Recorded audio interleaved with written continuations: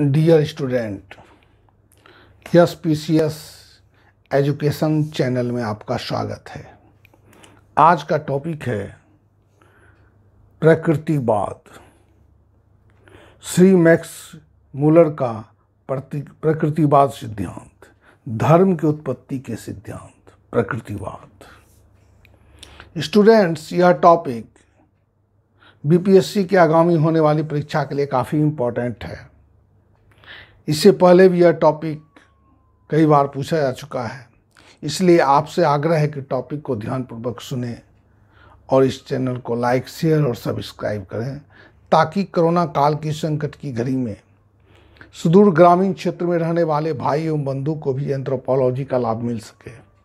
और वे घर पर ही रहकर बीपीएससी के एंथ्रोपोलॉजी ऑप्शनल की अच्छी तैयारी कर सकें। तो आइए टॉपिक की ओर चलते हैं। धर्म के उत्पत्ति के सिद्धांत, प्रकृतिवाद के सिद्धांत। धर्म की उत्पत्ति के संबंध में श्री मैक्स मूलर ने प्रकृतिवाद के सिद्धांत को प्रस्तुत किया है। श्री मैक्स मूलर के अनुसार मनुष्य आदिकाल से ही प्रकृति से प्रभावित होता आया है। आदि मानव ने देखा कि सूर्य से उसे धूप मिलती है और ठंडक से उसकी रक्षा होती है। आंधी उसके झोपड़ी को उड़ा ले जाती है तो सूखी नदियाँ अचानक पानी से भर जाती है। बिजली गिरकर पेड़ तथा घर को जला देती है। इस प्रकार से प्रकृति के विभिन्न स्वरूपों को देखकर मानव के मन में यह भावना उत्पन्न हुई कि अवश्य ही ऐसी कोई शक्ति है जो दिखाई नहीं देती है, परंतु वह मनुष्य से अधिक शक्तिशाली है। इसी मनोभाव के कारण वह प्रकृति से डरने लगा और उसके मन में प्रकृति के प्रति भय मिश्रित श्रद्धा और भक्ति के भाव उत्पन्न हुए। यही कारण है कि धर्म की उत्पत्ति के प्रथम चरण में प्रकृति के विभिन्न पदार्थ, सूर्य, चंद्रमा, अग्नि, पृथ्वी पेड़ पौधे की आराधना होती थी।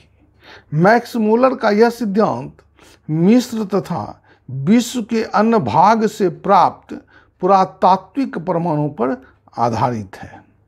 मिस्र का सबसे बड़ा देवता रॉ, अर्थात सूर्य था।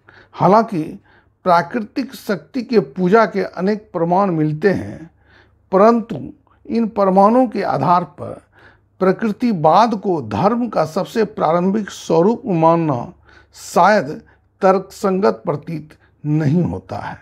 प्रकृतिवाद की आलोचना। नंबर एक, केवल प्रकृति की पूजा से ही धर्म की उत्पत्ति हुई है। शायद यह तर्कसंगत नहीं है। साथ ही यह धर्म की उत्पत्ति की संकुचित व्याख्या प्रतीत होती है। नंबर दो, श्री दुर्खी महोदय ने धर्म को एक सामाजिक तथ्य माना है, जबकि मैक्स मूलर के प्रकृतिवाद में धर्म के सामाजिक पक्ष की चर्चा नहीं की गई है जो इस सिद्धांत की शायद सबसे बड़ी दुर्बलता है। धन्यवाद।